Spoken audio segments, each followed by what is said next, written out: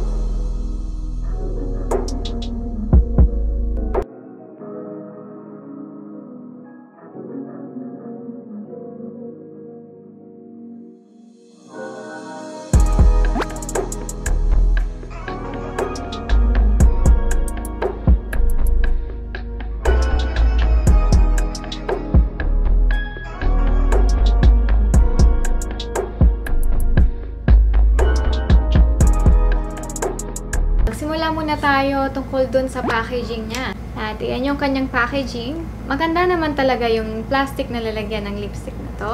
Kikisama naman yung kanyang applicator. Madali siyang gamitin. Kung makikita nyo, naka-curve na yung kanyang applicator. Maganda yung pagkaka-curve nito. Fit na fit sa lips. Ang part na yan, ayan ay supposed to be dito sa lower lip. Ito namang bagay na bagay na pang-apply dito sa upper lip. Sobrang ganda ng kanyang applicator. Nagustuhan ko to. So, medyo parang manipis siya. Hindi naman siya ganong masisira ka agad. Para sure na hindi siya masira agad, dahan-dahan lang sa paggamit at huwag masyadong diniinan.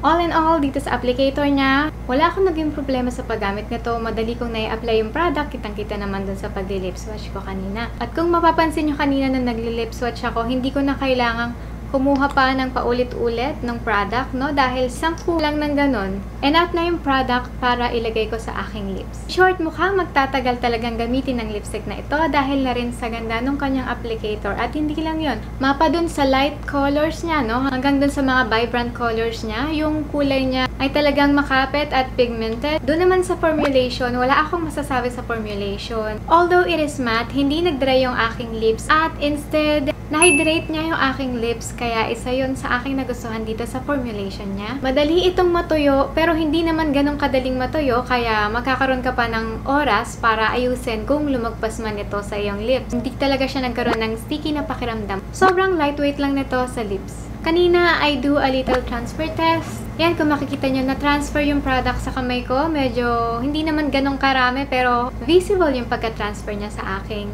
kamay. Ngayon, uulitin ko yon gamit ang kabila ko namang kamay.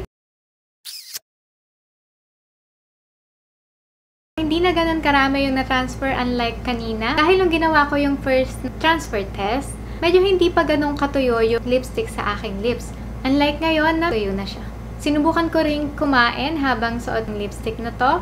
At yan, kung mapapansin nyo, hindi siya nabura. However, meron pa rin na-transfer na konti dun sa aking ininuman.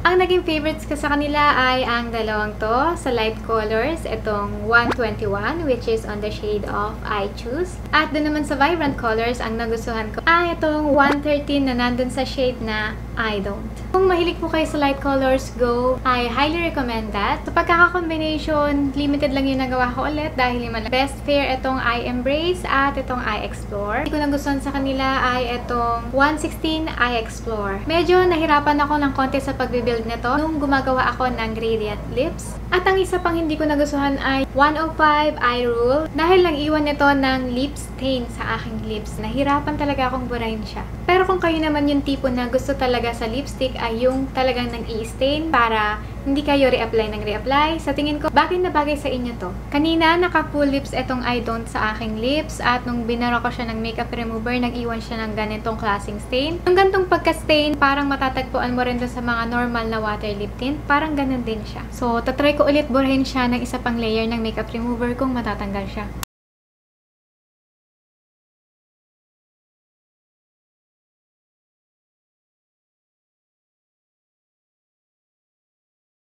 Nakastain na talaga siya sa aking lips para bang lip tattoo. Sa amoy naman niya, wala siyang offensive na amoy. Sa pagsasara nito, medyo bumabalik siya pag na-induce ng air sa loob. Pero huwag kayong mag-alala dahil hindi naman siya mahuhulog. Kung maubos man, kung bibili ba ako ulit nito, yes, bibili ako ulit ng mga nagustuhan kong kulay. Kung gusto niyo pong bumili go, ang presyo po nito ay 399 ng isa. But I would suggest na kung bibili kayo nito, abang-abangan nyo na lang po yung pagsisale nito sa Lazada dahil madalas ko naman po itong makitang nakasale doon. At ayan lang yung aking masasabi dito sa L'Oreal Paris Rouge Signature Lip Tint comments. Kung nagustuhan niyo po yung video, you can just like and leave a comment po. At kung di pa po kayo nakakapag-subscribe, you can subscribe na rin po. I do hauls, makeup tutorial, and skincare review in this channel. Ayun lang po sa ngayon at maraming salamat sa panonood.